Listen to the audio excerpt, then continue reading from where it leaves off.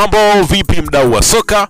Eh bwana, asante kama tayari umeshabonyeza neno jekundu ambao liko chini ya video hii iliyoandikwa neno subscribe. Uh, unakuwa upitwa na taarifa zetu pindi tunapoweka katika chaneli yetu pendwa kabisa ya Wina Media.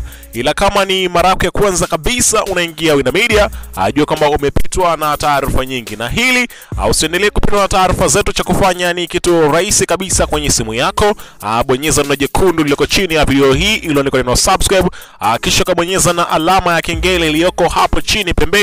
Uh, unakuwa unapata taarifa zetu moja kwa moja kwenye simu yako uh, pasipo kuanza kusearch, sijui kuanza kuzitafuta mahala kwingine. Uh, zinakuwa zinakufikia ikiwa tu umesubscribe na kubonyeza alama ya kengele. Fanya hivyo sasa hivi uh, kupata taarifa zetu popote ulipo Tanzania zinakuwa zinakufikia. E pia niandikia hapo chini kwenye upande wa comment unasikiliza taarifa hii kutoka maeneo yapi Tanzania. Kama uko nje ya Tanzania pia usiofu niandikia unasikiliza kutoka nchi gani, nami pia nitaweza kupitia maoni yako na kuweza kushare mawili matatu kwenye upande wa comment.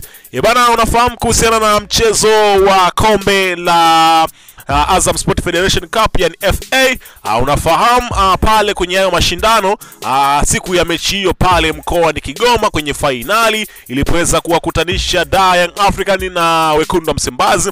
Unafahamu kuna matukio ambayo yaliweza kutokea kwenye mchezo huo, ikiwemo tukio la mchezaji wa klabu ya Simba bwana Bernard Morrison uh, kuweza kutembea mtupu pale akiwa na nguo yake ya ndani. Kwa hiyo maamuzi yameweza kufanyika. Pia kuna swala la mukoko yameweza kutolewa maamuzi uh, japokuwa uh, wadau uh, wa soka wanadai kwamba uh, maamuzi haya hayajastahili uh, kuendana na yale makosa ambayo yametendwa, kama maamuzi uh, yamekuwa ni madogo, na unaambiwa kwamba taarifa mpya uh, kama ilivyoweza kutolewa kwamba uh, kesi hizi uh, yani mashtaka haya ya pia yameongezewa uh, unaambiwa kwamba yameongezewa adhabu tofauti na ile ilikuwepo mara ya kwanza. Kwa hiyo ni kama wameweza kufanya mabadiliko ya zile uh, ulizoweza kuziona mara ya kwanza uh, zile faini pia wameweza kuziongeza na kifungo uh, kimeweza kuongezwa. Kwa hiyo twende kutizama uh, barua hii kutoka kwa TFF ambayo unaambiwa ni barua mpya. Unaambiwa kikao cha kamati ya mashindano ya TFF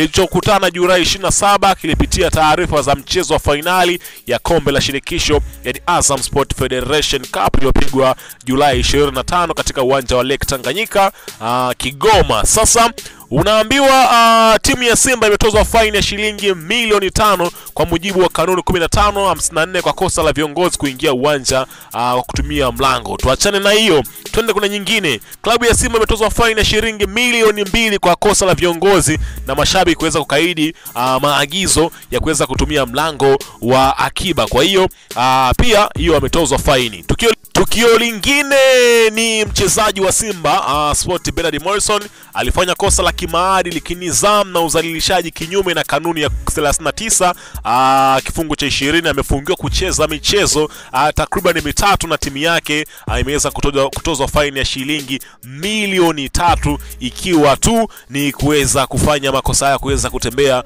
akiwa uh. Pia serikali imeweza kutoa onyo kali kabisa kwa mchezaji huyu uh, kwa kitendo chake cha kuweza kufanya hivyo, kwa inaonyesha kwamba anaishusha hadhi nchi ya Tanzania, kwa sababu inaonekana kama sisi kufanya hivyo vitendo kwetu ni jambo la kawaida. Tumeshazoea kwa wenzetu huko nchi zilizoendelea. Hatuwezi kusema nchi zilizoendelea kwa sababu kuendelea sio kufanya vitendo vya ajabu. Hapana, kuendelea ni kufanya vitendo vizuri. Nchi ambazo zimezoea kufanya hivyo naweza kusema a, wenyewe ni jambo la kawaida, lakini kwa Tanzania sio jambo ambalo linaweza likapigiwa makofi kwa sababu ni jambo la aibu, kwa sababu pale kuna watoto na wengine kibao. Sasa pia wameweza kutoa uh, faini pia uh, na mkoko tunombe uh, unaambiwa kwa kuweza kutenda kosa la kumpiga kiwiko uh, John, John, John Boko uh, kinyume na, ka, na kanuni na taratibu amefungiwa kucheza michezo mitatu na faini yake ni shilingi laki tano huku Faruku Shikalo pia ameweza kupigwa faini kwa kitendo cha kuweza ku, uh, kugoma kuweza ku, yani kutengeneza mazingira ya kuweza kutowapa salamu waamuzi